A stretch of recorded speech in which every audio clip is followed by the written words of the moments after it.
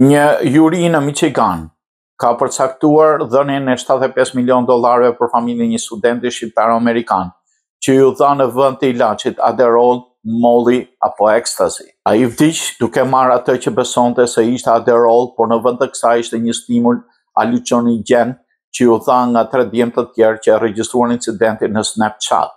Vendimi i dhënë të enjten në Gjykatën e Qarkut të Uenit shënon një hap kyç për familjen e Denis Prekës, një student njëzet e një vjeçar nga Grosse Pointe Farms, i cili vdiq pasi gëlltiti drogën artificiale Molly apo Ecstasy në vitin dy mijë e nëntëmbëdhjetë.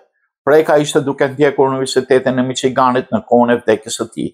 Sipas faqes së internetit të Fondacionit Denis Preka të krijuar nga familja, ai kishte studiuar më parë në Universitetin e Detroit Mercy dhe kishte planifikuar të ndiqte një karrierë në drejtësi dhe biznes. Vdekja e tij erdhi një ditë para ditëlindjes së tij të njëzet e dytë, sipas web faqes kushtuar atij.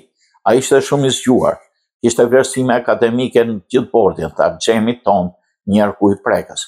Ai ishte një ëndrrimtar, por ishte pragmatik, ai punonte shumë, ai ishte një djalë i veçantë dhe botës do t'i mungojë. Denis Preka, ai i dyti nga e djathta që shihni shfaqet në familjen e tij, një foto pa datë siguruar nga avokati Mike Morse. Vendimi i jurisë së së enjtes shënoi kulmin e një beteje ligjore shumëvjeçare me familjen dhe avokatët që shprehnin lehtësim përmes lotëve në një konferencë emocionale për shtyp të premten në mëngjes. Linda dhe Jamie Thom ngritën padi për vdekjen e padrejtë në vitin dy mijë e njëzet në emër të pasurisë së Prekës. Ky vendim simbolik ka sjellë një masë shërimi për familjen e Denisit dhe unë kam parë lehtësimin e tyre nga dora e parë, tha avokati Mike Morse.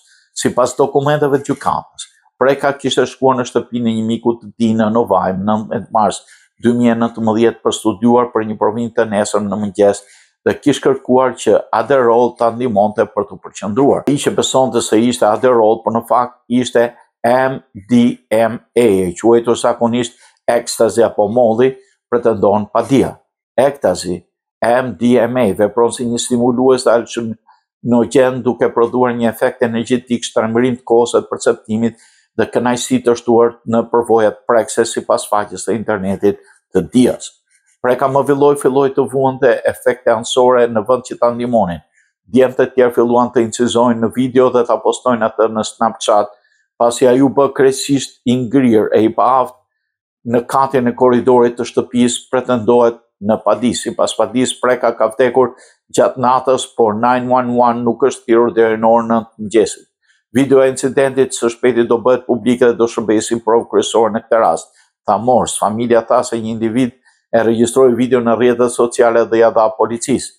Familjet duhet të jenë të vetëdijshme për rreziqet e përdorimit të drogave, veçanërisht kur shkolla kthehet në sesion këtë vjeshtë, tha Morse. Ndërsa studentët përgatiten të kthehen në kolegj, ne duhet të theksojmë rreziqet e keqpërdorimit të drogës dhe rëndësinë e bërjes së zgjedhjeve të përgjegjshme, shtoi ai.